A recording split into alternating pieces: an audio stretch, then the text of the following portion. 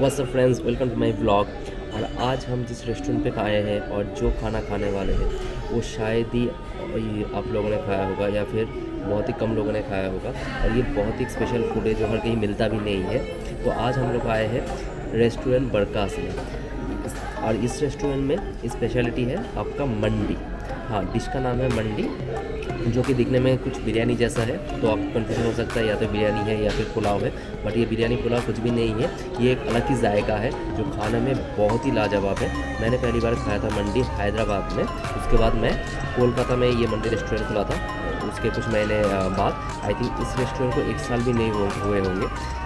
ये खुला है, लेकिन ये भी बहुत अच्छा मंडी बनाते हैं। मैंने एक बार खाया था, मैंने सोचा फिर से एक बार आ जाओ आप लोगों के लिए और आपको दिखा दूँ ये डिश क्या होता है और कैसा होता है खाने में।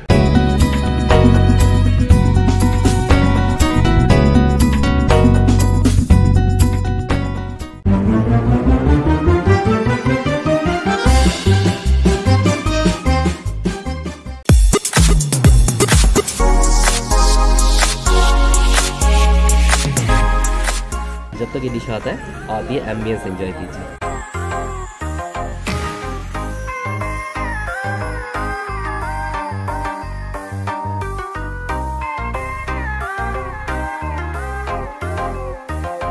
और ये जो डिश है, ये खाने का एक अलग ही तरीका होता है, ये बैठ के खाया जाता है। आ, मैं आपको दिखाता हूँ ये मतलब लोग कैसे बैठ के खाते हैं इस डिश को कौन सी जगह पे बैठ के खाते हैं। हम लोगों को एक्सेस नहीं मिला आज क्योंकि हम लोग जस्ट दो जना है। अगर आप लोग तीन या से ज़्यादा लोग आ रहे हैं तो शायद आपको वो एक्सेस मिल जाए अगर वो ओवर क्राउडेड ना हुआ प्लेस तो तो आप लोग देखिए और इन्जॉय कीजिए।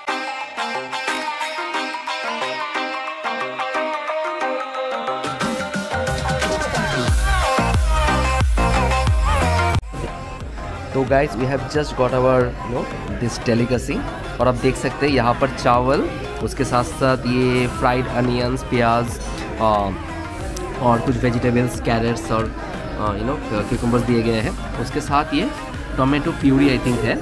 और ये एक तरह का सलान टाइप कुछ है। मुझे नाम पता नहीं, आपको पता है तो आप नीचे कमेंट कीजिए।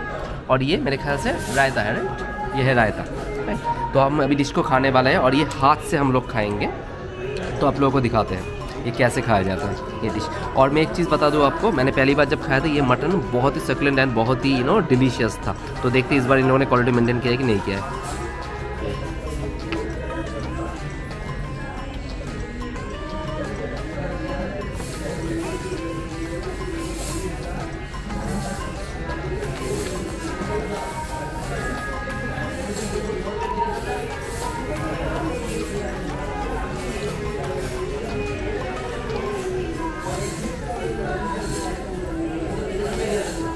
After seeing my expression, you definitely realize how this special dish tastes like. And I must say, मैंने जब ये पहली बार खाया था मेरे मुँह से निकला था वाव और इन लोगों ने जो बरकाज वाले हैं इन लोगों ने क्वालिटी और टेस्ट वही मेंटेन किया है। तो कंसेप्ट टू देम और ये डिश वाकई में वाकई में बहुत ही बहुत ही ज़्यादा स्वादिष्ट है। आप लोगों ने शायद ऐसा डिश पहले नहीं खाया होगा। ये मैं ऑलमोस्ट गारंटी देता हूँ बहुत ही कम लोगों ने खाया हुआ है ये डिश मटन ग्रेवी के साथ खाते हैं